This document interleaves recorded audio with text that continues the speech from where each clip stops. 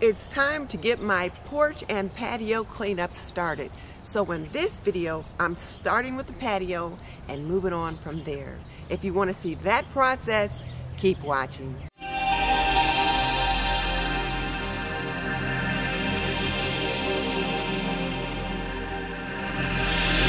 If we're just meeting, I'm Denise Jordan and I teach traditional homemaking for today's homemaker.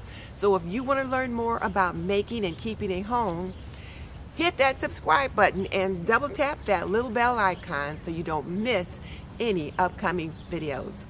Okay, let's get into it. I follow the Fly Lady cleaning process to manage my home and it's zone one and it's week one and we've got about four days to work in the zone this week.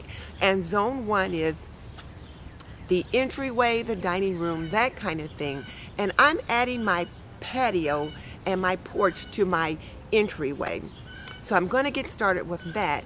And I often show videos that show how nice my flower garden and my porch and the patio looks when things are done. But this time, I thought I would show you how I operationalize the Fly Lady cleaning system to get things started. So I've got to take down the bird feeders, give them a good scrubbing, sweep the patio, clear the garden beds, and yada yada yada. So I invite you to join me as I put the Fly Lady cleaning system in action. Zone 1 Patio. According to the Fly Lady cleaning system, when you're working in your zones, it should not take more than 15 or 20 minutes for whatever task you have for that day. Since I have four days for zone one this particular week, I thought I would start with the bird feeders as one of my tasks. I knew scrubbing the bird feeders would take longer than 15 minutes, but it's the first task I always like to get done on the patio.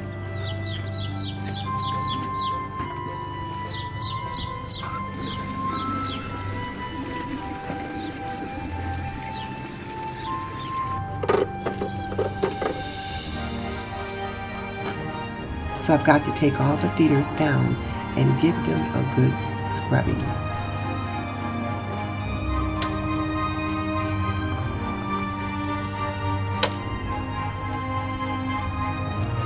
And my husband is working on the patio as well. He's got some tasks that he's identified to do while I work on the bird feeders.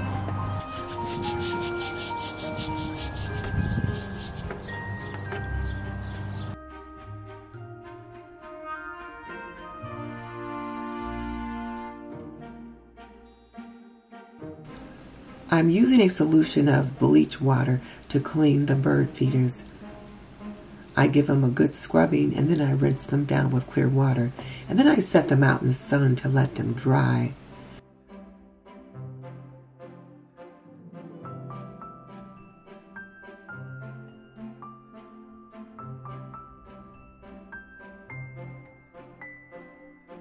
And these dome-shaped items on the poles are my squirrel bafflers. They baffle the squirrels, so to speak. The squirrels can't get up the pole into the bird feeders. This little feeder here with the greenhouse is my woodpecker feeder. I put a suet cake in it and the birds have to be able to hang upside down to eat from it.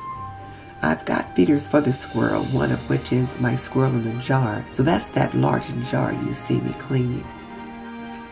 Once the feeders have dried in the sun, we get them put back up on the poles.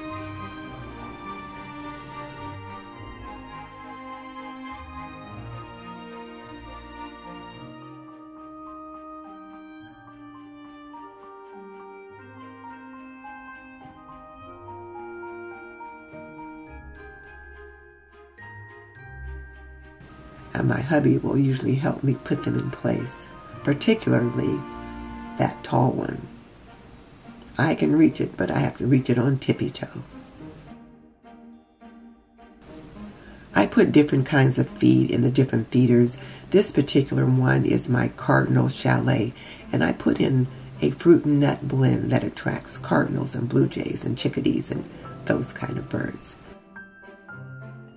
This little bluebird feeder is a pass-through. You can see the openings on the side and on the ends, and only small birds could actually get inside to get to the feed. And I like to have the feeders turned just so that way I can see the birds from my kitchen window.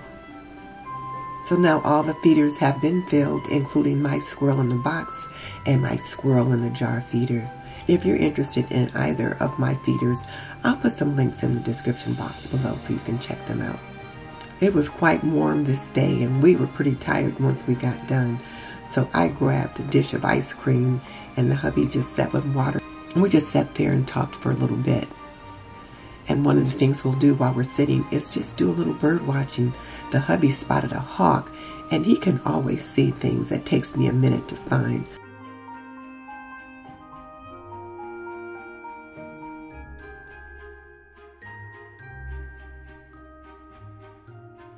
Well, I've wrapped up another day of Fly Lady Vlogs where I operationalize the Fly Lady cleaning system in my home. Today I was working in zone one, the front porch and entryway, only I added on the back patio as part of my entryway today. It just seemed like a good idea at the time. It was work that needed to get done and it made sense to do it here. If you like this video, be sure and stop back and check out my other Fly Lady Vlogs where I continue to show you how I make the Fly Lady cleaning system work in the Jordan household. And just so you know, I've raised three children and I've managed a home for more than 45 years. So if you want to learn more about the art and science of homemaking, subscribe. I can teach you to be a traditional homemaker in today's untraditional world. I'll see you next time.